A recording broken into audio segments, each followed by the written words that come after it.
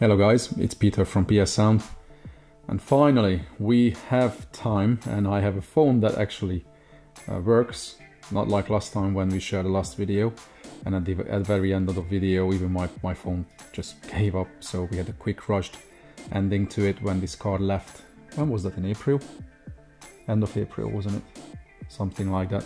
Or before April, I don't know. It was roughly two months ago when we last worked on it, when we did the 18s when we fitted them and since then we've we've done a few more bits and the owner also did his part to make it complete. So now for a while we can we can say that this is complete right? So time time to enjoy the car. Okay where do we start?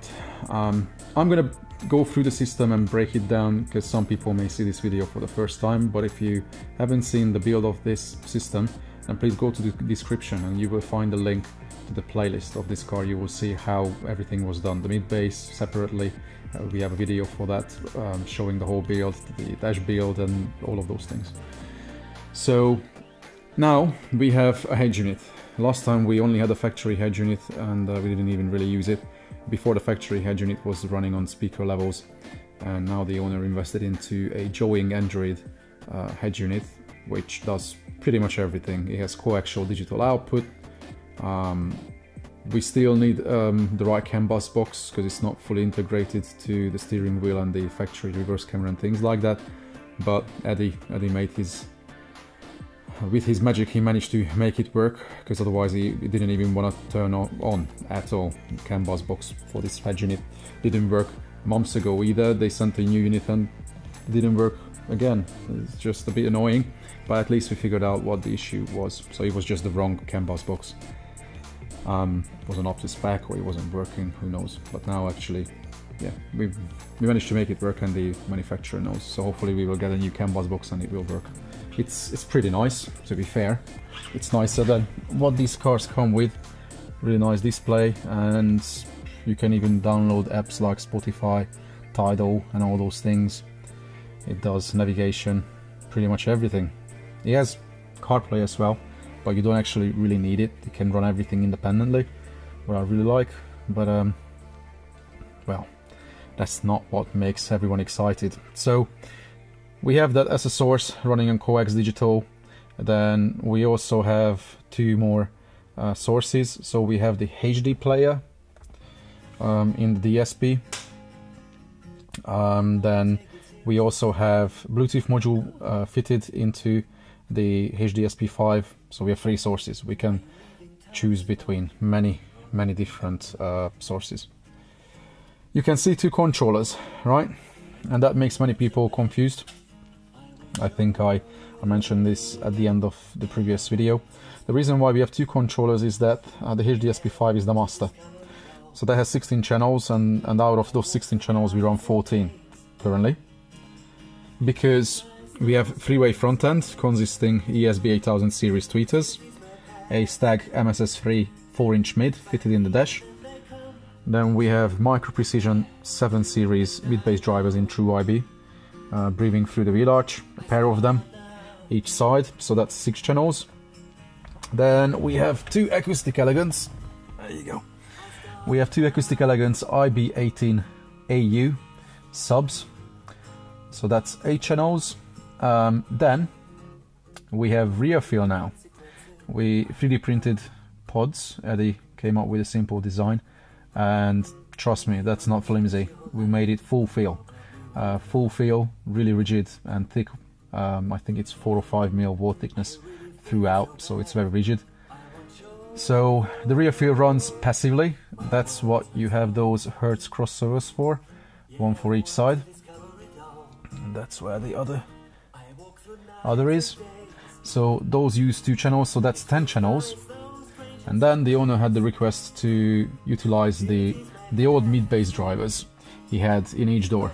Uh, Hertz, which are these? The Hertz um, high, high, energy, or this is not the ML range mid-bass, is it? Uh, it's not Mille Legend, no. no it's, it's one, one category lower. But he had those and he likes a bit of party mode, so he wanted to utilize them. So we have four more channels running from the HDSP5, which is on the top with all those RCAs. we have four channels run running into that uh, Zapco ADSP uh, amplifier. Now you may ask, you know, why did we use a DSP amp when we don't need the DSP function of that? We certainly don't, but there wasn't anything that would have fitted within the space, the shape, the size, power, and things like that. So yeah, it was it was it was a bit tricky. Um, hang on, I just click this music away or something at the background so it doesn't annoy us. Oh, it's the EMMA, the new EMMA competition tracks. Okay, so yeah, that was the only amp that we could physically fit. That's an H&L amplifier, so we use uh, two channels bridged for each doors. So this way we have 240 watts maximum. I don't think we get close to that, but we have plenty of clean power. And yeah, they certainly make the drivers move in the doors. Doors truly struggle now at, at high levels. But this way, the system was tuned in a way that we have a preset where the doors are tuned to the driver's position and every single driver was EQ'd and time aligned to the driver so they they actually blend into the system and they give extra kick a lot of kick. But the thing is once you turn up these 18s um, the cone area of which are equal to 512s just to make it a bit more clear clearer what we deal with then yeah we have serious output levels. Um, we will try to share a sort of demo video with you a separate video where we will uh, play this setup crazy, like with crazy low, low lows, low bass music, all, all sorts of shit. You know, uh, people want to see how these drivers move and how the car wants to fall apart. Um, that will give you an insight into what serious levels these can create in this application. So yeah, that's how we have a really complex system right now. But yeah, it does it does a lot. We have several different presets. We have a very pure uh, sound quality preset for competition. Then we have a daily preset with and without rear fill, which run uh, differential on the daily presets. But then we also have presets where the rear fill plays full range uh, as normal rear fill and it, blasts. But it was still um, properly tuned, EQ'd and time aligned to the driver, even if they they run full signal. Of course, with the the correct pass filter, obviously. Um, so yeah, we have we have some craziness happening with this system. Um, so, oh, let's go to the back. We haven't showed that yet. There you go. You have to say something about that. That was your idea, because because this was built. It's, it's your your building. My well, just you built the panel. Yeah. To save your time a bit. Yeah, we were due to build this panel or some sort of panel uh, last week for this car, but uh, it made made our life a bit easier that I didn't have to. It's rigid, it's solid. Um, that grill is actually a uh, barbecue grill, right? Yeah. but it's it's really thick, and this car is not really used like most people use a, a pickup for. It's not loaded like that, right?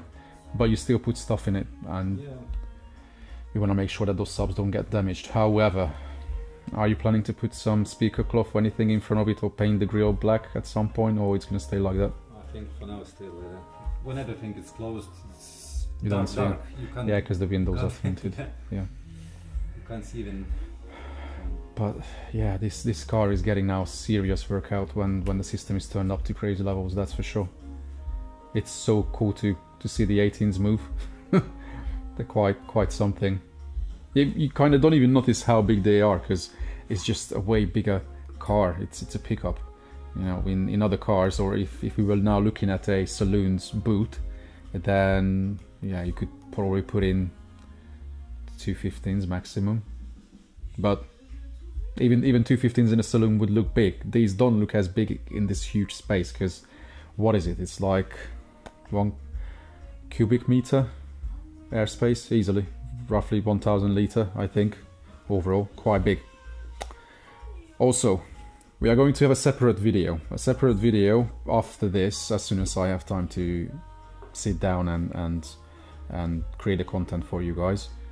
in which I'm going to show you what these subs measure in this cabin in different scenarios like when everything is closed when this back box is, is, is open that, that top uh, tailgate is open when one window is open on the driver's side or the passenger side or both sides doors open things like that. I, have done those tests to see how the cabin reacts um, and how these subs work because that's very valuable for many of you. If you want to do something similar then you know what to expect if you have a similar size car. Um, trust me even without going into the details and, and sharing that video these subs in, in this cabin work so fucking good. Um, I, do, I don't even know how we could get any better bass in any car. Because they play the low lows all the way down to 11 hertz without any problem and they play the highs as well without any cancellation any any drop in the range nothing. It's clean up to like 150 hertz to the time the amplifier kicks in because it has inbuilt low pass filters and I think the highest you can turn it up is somewhere around there. But um, yeah they are so good. So good everything you can ever ask for really when when we have the sound quality preset they blend in so well you don't even notice them oh when you turn them up okay you can tell you can uh, tell they are there but uh, we may mention that we have uh, some crazy plans for the future as well, right? If I'm standing here now. See those empty spaces. it looks alright, isn't it? It required 8 inch or something. Well, we, we will have to figure out how we can switch the amplifier channels and utilize the amplifier channels in a way that we can switch over, have a preset where this backend turns into a PA two 18s facing to the back, you shut the cabin, that becomes your box. These will play as bass drivers. You, you could easily play them up to like 150 because they play that clean. And then have a pair of mids, PA mids with really sensitive tweeters, and then you would have freeway yeah. blasting to the to the back. All, all four doors become as a box. Yeah, that's what I'm saying. Like, and that's gonna be the box. Like you will have to, you will have to shut it. Although yes, people will see the measurements, what the car measures and what it what it, it does with different things open, because um, it still plays bass really well with the front windows open, easy. Actually plays the low lows mental, proper hair trick madness. You will see. We will we will share some of those crazy videos with you. Then then you will see that this is not just quality but also a bit mad. Okay, it's, it's not as mad, mad as like some guys in the US, not just in US but many other places but yeah, probably US because pickups are, are the most popular in, in the US.